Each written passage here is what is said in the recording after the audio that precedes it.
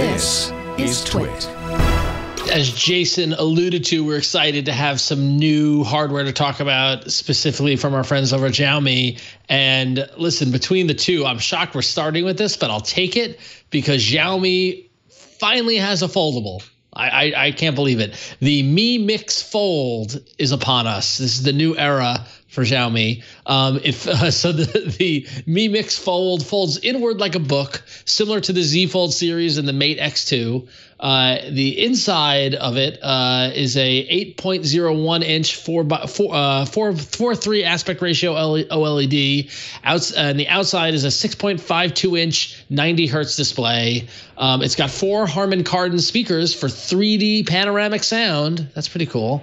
Uh, it's running on a Snapdragon 888 uh, with 12 and 16 giga, giga RAM options and 256 and 512 gigabyte storage as well. Um, it's got a, a nice fat 5020 uh, 5020 milliamp battery, um, 67 watt fast charge, uh, zero to 100 percent in 37 minutes, which is crazy. Nice. Um, the the camera uses liquid lens technology which is the first of its kind in a smartphone. And I can't wait to hear what Flo thinks of this because basically it uh, that means it handles macro and telephoto shots thanks to a layer of liquid and switching the electrical voltage Oh. through that liquid. So in other words, a single lens could theoretically combine all the functions of multiple lenses on other phones, which is That's so cool. I love that. bananas. Um, it also it also includes a, a 108 megapixel main and 13 megapixel ultra wide cameras, and the prices start at 9,999 won,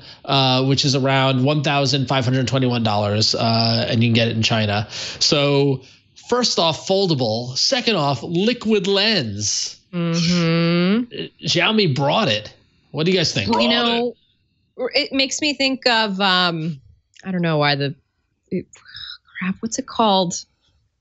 overkill. Um, uh, The thing that you use to make Uh, sure. cowboy hats. no, the thing Um, you use to make sure the shelf is on the level. The level, leveler, level, the level Yes, with, the, with, the, with the mystery brain. Give me a with the mystery green liquid and the bubble, right? Yes, what I'm just yeah. thinking of the liquid and how it Yeah. would move around to create the difference between a macro uh, and a wide angle lens. I mean, it makes sense when you think about it theoretically, like how that would work. But obviously, I want to see this in practice, and I want to see. I want to see if we have the kind of distortion that uh, Jason saw in his wide angle photos last week with the One 9 Pro. That's what I'm Mm, yeah. curious about. What do the edges Yeah. look like with these things? I'm curious how close you can get. Oh, this is see, you, you got me Here. going. Got me going. Burke, I'm I'm putting in uh, the in the doc under the Verge article. I put in a link for Engadget, and if you scroll down about halfway, it has a little bit of an animation that kind of shows Okay. a little bit how this works in a in a promo kind of video sort of way. At least so at least there's some sort of visual some to kind of put context. into it, some context. Yeah. But it's a cool idea, and this isn't the first time that this has happened. Like this is this is technology that exists outside of the smartphone world, from my understanding, anyways. Uh, this is just the first time that it's entering into an actual smartphone device. Um, so yeah, I mean. I think I think it's interesting that well, like we've seen in, in our 10 years doing this show, we've seen phones go from a single camera lens that absolutely b- sucks to multiples to the point to where you know oh I don't have the the note in front of me where like the Note Ultra is like a giant bar uh, full of cameras just to do all the things. And now like are we entering a phase where in the next two to three years more cameras are done like this because it allows for a single module a single camera lens to do everything that you need? And does it do it well enough? I'm really curious to see Yeah. Listen, I'm it gonna looks like a contact. You sound- like a- you sound Looks like a- skeptical flo I'm gonna? Ron. Go ahead, finish your thought. I was gonna say it looks like a contact lens. yeah it kind of does look like It does. All right, Flo, Yeah. Flo. So what do you think? You're skeptical. I imagine Skeptical. it works like a contact lens. No, I'm not skeptical. And you're, you guys are going to be, Ron is going to roll his eyes so hard when I tell him that all I've been thinking about looking at this animation on the Engadget article is uh, the music video for the O Town single Liquid Dreams. Hmm.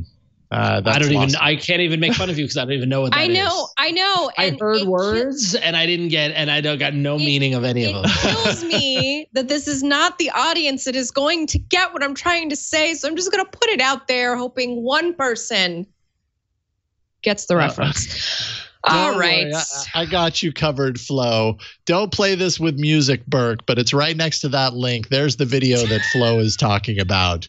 And skip about a third of the way through. And I think I understand what you mean.